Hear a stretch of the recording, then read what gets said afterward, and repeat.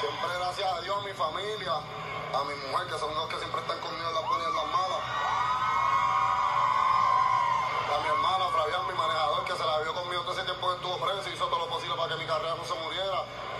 Y a todos ustedes, mis fanáticos, los amo. Los amo con toda mi vida. Yo quiero, yo quiero que todo mi éxito siempre le sirva motivación a todas esas personas que están pasando por momentos difíciles en la vida. Pues hace seis meses yo estaba en una celda metido sin saber qué iba a pasar con mi vida.